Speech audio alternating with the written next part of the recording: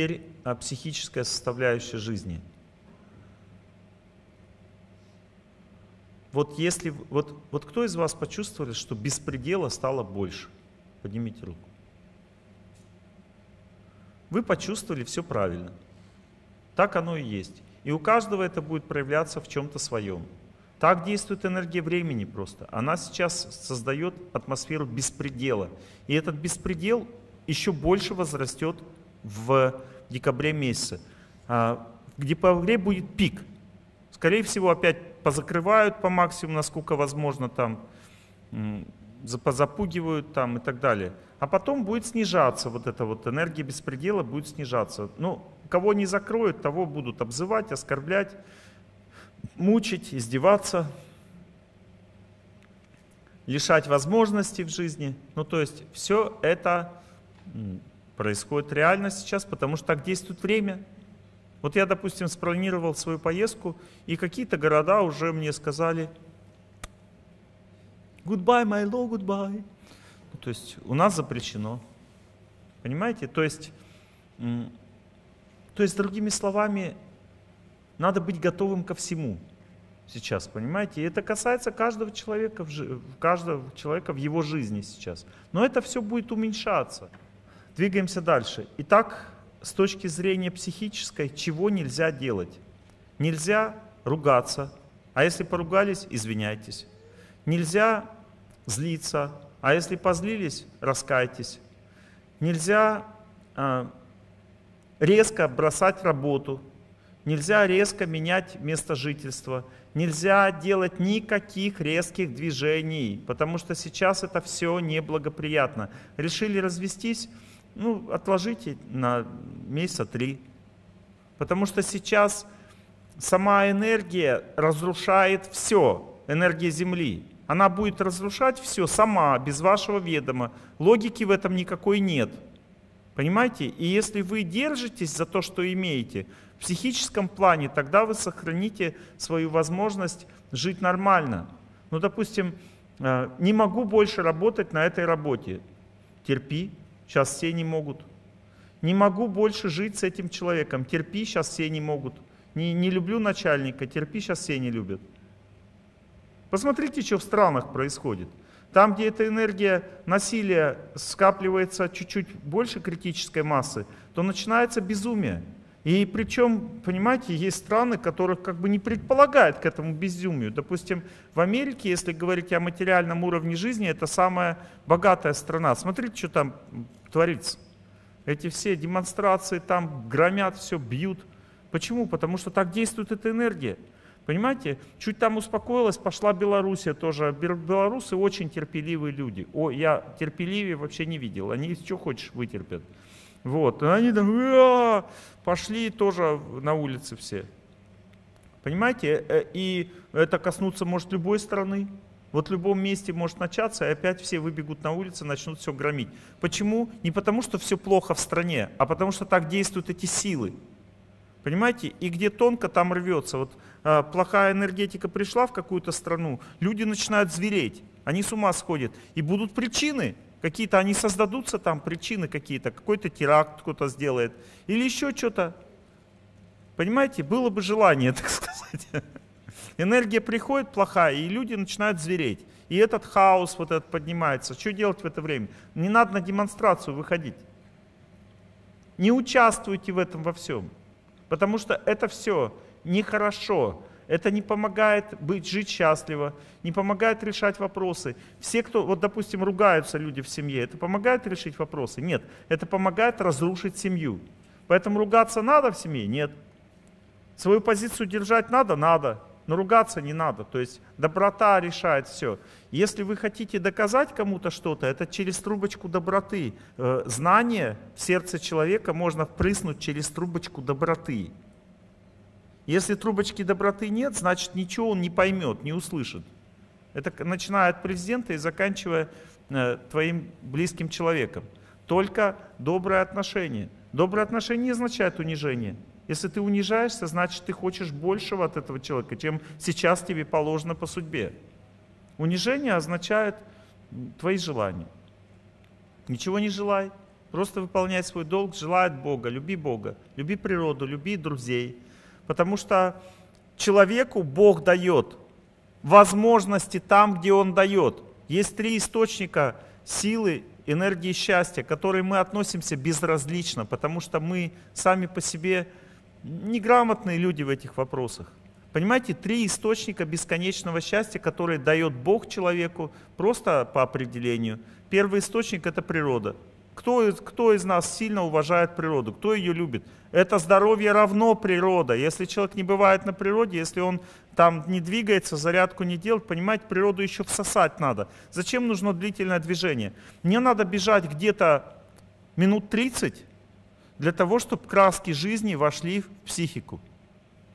Вот мне надо 30 минут. Вот через 30 минут я начинаю чувствовать воздух, начинаю радоваться, начинаю чувствовать людей, птички поют. У меня краски жизни начинают входить, понимаете? Потому что мне 55. Но если бы э, мне было, допустим, 5 лет, то они бы сходили сразу, как только я на природу вышел. Возраст, он вот так э, притормаживает возможности, но это не значит, что я не имею уже права всасывать эти краски жизни. Понимаете, я должен просто себя заставить длительно двигаться для того, чтобы включиться в контакт с природой, чтобы дышать ей, радоваться ей. Иначе я сдохну, если этого не буду делать, потому что все тает внутри, психика тает. Мы теряем себя со временем. Понимаете? Природа – это естественный источник здоровья. Если у вас геморрой, если у вас панкреатит, если холецистит, если шизофрения, все это одно. Вам просто не хватает энергии природы, и все. Просто ну, разная болезнь на разной глубине находится. Вот, допустим, если шизофрения, нужно уже час пятьдесят бежать или 4 часа идти, чтобы и на нее влиять на, на эту ситуацию, потому что эта болезнь находится на пятом психическом цилиндре, на самом глубоком. А если у вас, допустим, аллергия, тогда вам достаточно будет идти 80 минут или бежать 40 для того, чтобы эту болезнь победить. Понимаете, то есть все на разной глубине судьбы находится, но в целом все в твоих руках. Если хочешь жить, живи. Жизнь означает усилие над собой и означает вера, и означает э, труд. Вот, допустим, человеку сказали, у тебя неизлечимая болезнь. Какой вывод? Все. Ходить не надо, опасно, вот у тебя суставы больные. Ходить надо. Как? А вот хорошо, у меня к вам вопрос. А ходить аккуратно и не ходить это одно и то же? Вот смотрите, если вы будете длительно, аккуратно ходить при больных суставах, вы их вылечите. А если вы будете не ходить, вы сдохнете. Вот такая разница. Чувствуете? Если врач, а врач ведь вам не говорит эту разницу, он говорит, надо беречь суставы. Что это значит для вас? Не ходить. А ходить все равно придется, понимаете? Просто придется ходить под себя уже. Потому что как бы сам не сможешь, утку придется тебе носить. Ну то есть вот в этом идея заключается. Чувствуете разницу, когда человек длительно и спокойно ходит с больными, там сильно разрушенные суставы, он их восстанавливает. Суставы восстанавливаются, вы скажете нет, а я скажу да.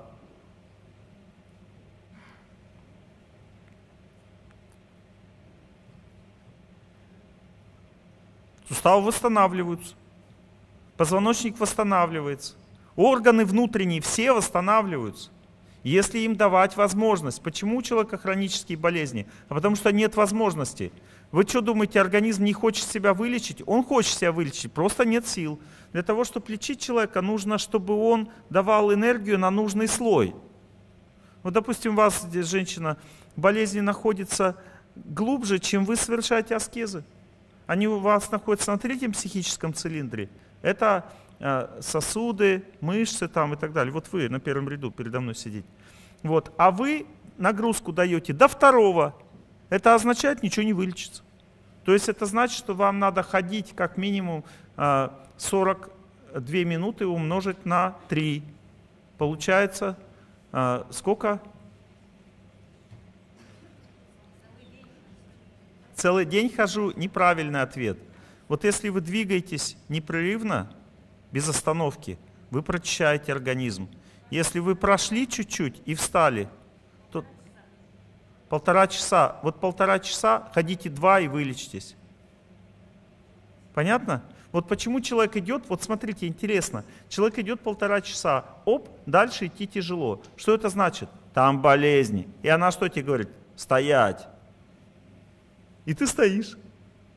Коронавирус говорит, лежать, и ты лежишь. Понимаете, это означает согласен умереть. Надо ходить 2 часа 20 минут. До свидания, болезнь сосудов.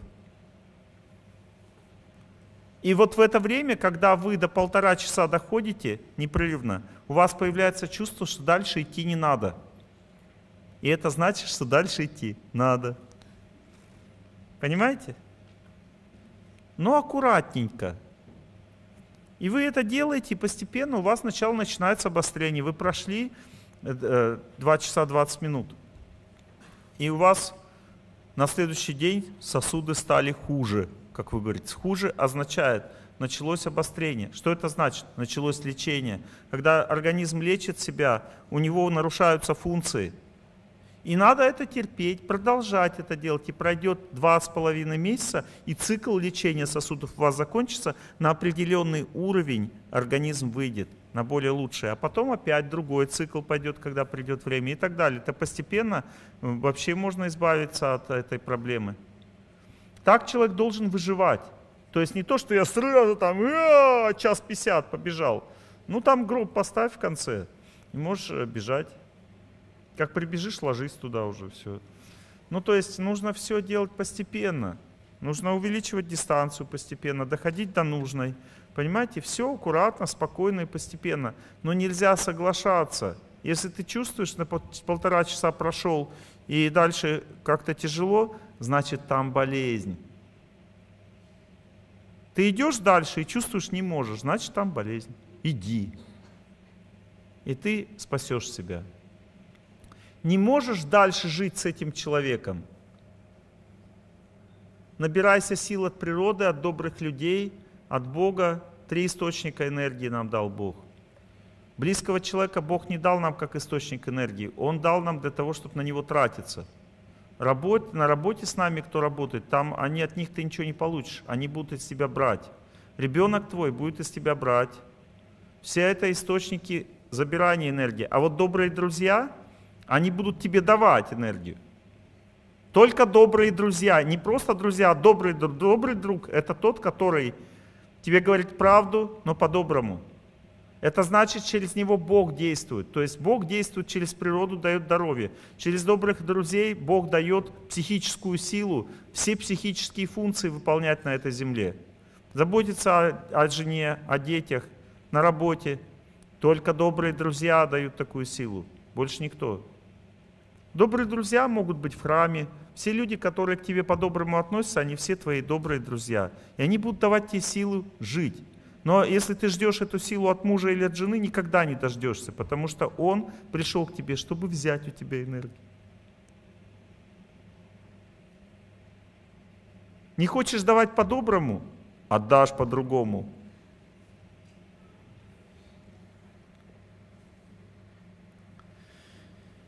И есть еще душевная сила. Душевная сила – это когда непреодолимое препятствие. Олег Геннадьевич, я уже не могу больше молиться, он гад такой, не меняется и все равно хочет уходить. Я уже… Э, перестаньте светить, мне это, да. Вот. Я уже не знаю, что делать. Он все равно в наглую хочет от меня уйти, несмотря на то, что я сильно верю в Бога. Поймите очень простую вещь мы не можем никого заставить любить нас. Невозможно. Но Бог все равно позаботится о нас. То есть надо понять, что надо верить не в человека, что он изменится, когда я буду молиться, а надо верить в Бога, потому что у Бога свои, перестаньте светить. У меня больные глаза. Женщина на последнем ряду. Правильно. Когда вы включаете запись, у вас автоматически включается фонарик – вы об этом не знаете. А я знаю. И так у нас в жизни все, понимаете? Вот когда женщина, допустим, говорит мужчине, по-доброму совершенно, слушай, перестань свинячить, а? Ну, по-доброму совершенно. Она не знает, что в это время ему очень больно слушать ее слова, потому что у мужчины нет защиты психи, психики, вообще нет защиты от женских эмоций. Вот женщина эмоционально начинает что-то говорить, мужчину корежит сразу. Ему становится очень тяжело. Поднимите руку. Есть мужчина здесь в зале, который женщина эмоционально говорит, а ему нормально. Нету женщины, видите? Чем помочь? Да ничем. Поменьше эмоционально говорить. Если вы хотите ему сказать, мой хороший, давай поговорим. Если вы хотите вот так со всей силы ему сказать, как вам хочется, ну, в 10 раз меньше сделайте. И скажите, мой хороший, давай поговорим. И он тогда среагирует. А если вы сделаете так, как вам хочется, он начнет орать на вас. А у женщины нет защиты от мужской, мужского давления, мужской воли. У женщины нет защиты от мужской воли. Если мужчина говорит, я тебе все сказал, ну то есть начинает давить на женщину, она, у нее психика напрягается, она ничего не соображает, она чувствует, что он меня сейчас уничтожит. Вот такое у нее ощущение. И она начинает, защита у ней, это эмоции. У женщины защита это эмоции. Она начинает, отстань от меня. И он такой, эмоции же бьют ему по сердцу. И он, а у него защита это его как бы это психическое давление. Что значит отстань? Ты понимаешь, о чем я вообще говорю? Ну, то есть он начинает логику включать, здравый смысл. Женщина, ну да, он меня уже стал с этим здравым смыслом, он меня задолбал уже. И так далее. Это означает, что мы никогда друг друга не поймем. Мы разные. Но есть силы, которые дают нам возможность жить. Мы ждем от мужа, от жены поддержки. Не дождетесь, потому что это не предусмотрено. Если ведете себя по-доброму, жена будет счастлива и будет благодарна. Вот благодарность это уже не по судьбе, это награда.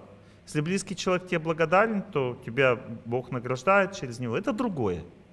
Награды могут быть каждый день. И можно быть счастливым в личной жизни, если ты ничего не ждешь от близкого человека. А если начал что-то ждать, получишь комбинацию из трех пальцев.